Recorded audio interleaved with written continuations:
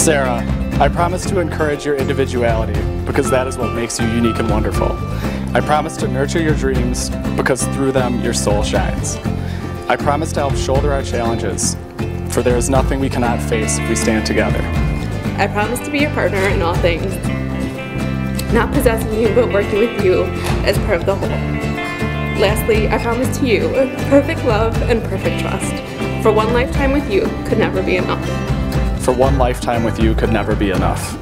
This is my sacred vow to you, my equal in all things.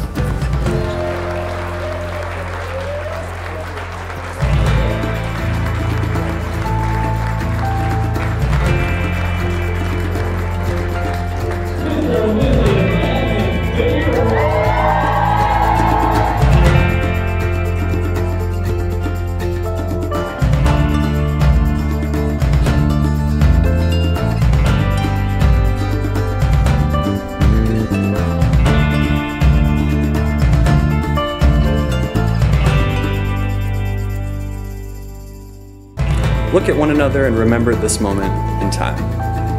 Before this moment, you have been many things to one another acquaintance, friend, companion, lover, dancing partner, even teacher, for you have learned much from one another these past few years.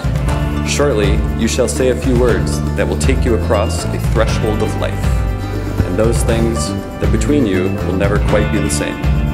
For after today, you shall say to the world, This is my husband, this is my wife.